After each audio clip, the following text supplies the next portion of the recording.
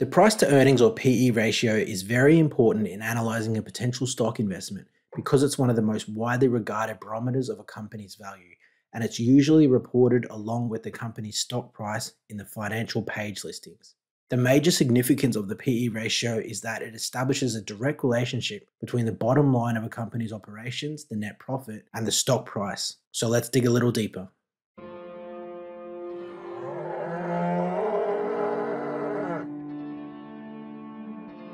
The PE ratio is of particular interest to investors in public businesses.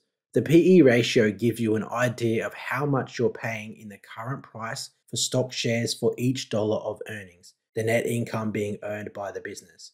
Remember that earnings prop up the market value of shares. The PE ratio is, in a way, a reality check on just how high the current market price is in relation to the underlying profit that the business is earning. Very high PE ratios are justified when investors think that the company's EPS or earnings per share has a lot of upside potential in the future. The P in PE stands for the stock's current price. The E is for earnings per share, typically the most recent 12 month of earnings. The PE ratio is also referred to as the earnings multiple or just multiple. You calculate the PE ratio by dividing the price of the stock by earnings per share. If the price of the stock is $10 and the earnings per share are 1, then the PE ratio is 10. If the stock price goes up to $35 per share and the earnings are unchanged, then the PE ratio is 35. The higher the PE, the more you pay for the company's earnings. So you might ask, why would you buy a stock in a company with a relatively high PE ratio instead of investing in another company with a lower PE ratio?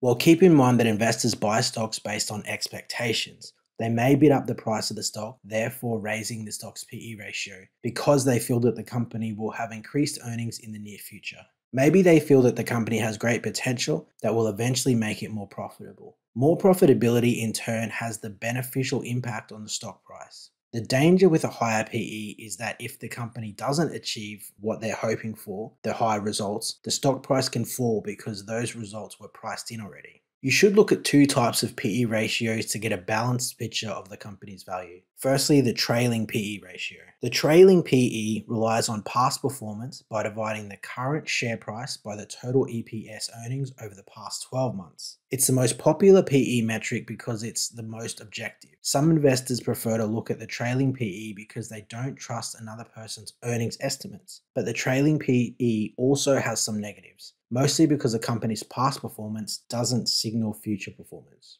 The trailing PE ratio will change as the price of the company's stock moves because earnings are only released each quarter, while stocks trade day in, day out. As a result, some investors prefer the forward PE. If the forward PE ratio is lower than the trailing PE ratio, it means analysts are expecting earnings to increase. If the forward PE is higher than the current PE ratio, analysts expect them to decrease. So already talked about it a little bit, but secondly, we have the forward PE ratio. The forward or leading PE ratio uses future earnings guidance rather than trailing figures, sometimes called estimated price to earning. This forward looking indicator is useful for comparing current earnings to future earnings and helps provide a clearer picture of what earnings will look like. However, there are also problems with the forward PE metric. Companies could underestimate earnings in order to beat the estimated PE when the next quarter earnings are announced. Other companies may overstate the estimate and later adjust it going into the next earnings announcement. Furthermore, external analysts may also provide estimates, which may diverge from the company's estimates, creating confusion.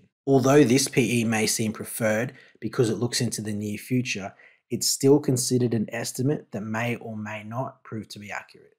Looking at the PE ratio offers a shortcut for investors asking the question is this stock overvalued? As a general rule, the lower PE, the safer or more conservative the stock is. The reverse is the higher the PE ratio, the greater the risk.